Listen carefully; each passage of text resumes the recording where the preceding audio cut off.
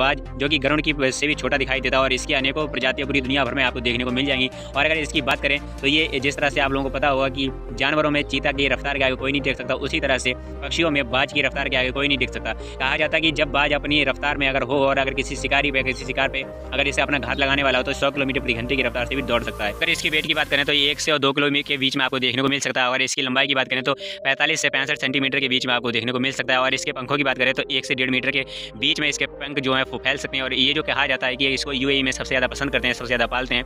और अगर इसकी बात करें तो इसका जो ज़्यादातर लोगों ने, कई लोगों ने ऐसा कहा है कि इसका जो आँखों का वो वेट होता है, उसके दिमाग से भी ज़्यादा होता है और इसकी जो देखने की जो क्षमता होती है, जो अपना, अगर इसकी जो दृष्टि होती है, वो पाँच किलोमीटर दूर से भी अपने शिकारी को देख सकता है। तो इसकी जो बहुत सारी खासियत है जो आपको बताएँगे तो बहुत ही ज़्यादा हरपी ईगल। हरपी ईगल जिसे कभी कभी न्यूगिनी हरपी ईगल या फिर पापुअन हरपी ईगल के रूप में भी जाना जाता है। यह अपनी पूरी रेंज में पाया जाने वाला सबसे बड़ा और सबसे शक्तिशाली रैप्टर में से एक है, जिसे दुनिया में सबसे बड़ा मौजूद प्रजातियों में से एक माना जाता है।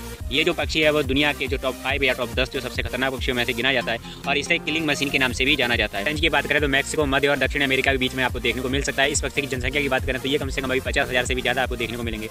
ये जो पक्षी है, इसकी ऊंचाई की बात करें तो ये तैंतीस से इकतालीस इंच के बीच में आपको देखने को मिलेगा और इस पक्षी की अगर वज़न की बात करते हैं तो ये साढ़े आठ से मतलब नौ किलो के बीच में आपको देखने को मिल सकते हैं। जो ज़्यादातर छोटे होते हैं, उनकी जो वज़न होता है वो साढ़े तीन किलो बीच के और साढ़े नौ के बीच में आपको देखने को मिल सकता है। ये जो पक्षी विशेष रूप से अपने पंखों की वजह से जाने आते हैं, इसके जो पंख होते हैं बहुत ही ज़्यादा बड़े होते हैं। इनके जो पंखों की जो लंबाई आपको बता दें तो छः पॉइंट फाइव मतलब दो मीटर के बीच में आपको देखने, दो फीट के बीच में देखने को मिल सकता है। अगर इनके आहार की बात की जाए तो ये पेड़ पर रहने वाले स्तनधारी जैसे बंदर, गिलहरी या फिर सांप, ऐसे कई जो छोटे जीव होते हैं, उनका खाना पसंद करते हैं, उनका जो शिकार करते हैं। और ये जो ज़्यादातर विशेष रूप से बड़े पंजों के साथ में विशाल काला और ग्रे रैप्टर के नाम से कैसवरी वर्ड पर नर की अपेक्षा से मादा ज़्यादा स्ट्रॉग होती है। मादा की जो लेंथ की बात करें तो वन से लेकर वन मीटर तक होती है। ये जो बहुत ही ज़्यादा खूबसूरत होता है, अगर इसकी वेट की बात करें तो यह पचास साठ किलोग्राम की तक की होती है। और अगर इसकी जो पंजा होता है, बहुत ही ज़्यादा खतरनाक होता है, क्योंकि उसी पंजा की वजह से इसको दुनिया का सबसे खतरनाक पक्षियों में गिना जाता है। इसके पास दुनिया का सबसे ज़्यादा खतरनाक पक्षी होता है Guinness book of world record में इसका नाम दर्ज है। इसका जो पंजा होता है उसमें तीन उंगलियाँ होती हैं जो दूसरे पैर की जो पंजा होता है उसमें एक खंजर की तरह से इसका पंजा होता है इसकी जो पंजा की जो लेंथ होती है वो पाँच इंच तक लंबा होता है। इसको बताते हैं कि बहुत ही ज़्यादा खतरनाक होता है बहुत ही ज़्यादा ड्रावना दिखाई देता है। इसी वजह से मनुष्य और जानवर को ये हमेशा मतलब कि खतरा पहुँचा सकती है कि ज़्यादातर ये शांत स्वभाव की होती है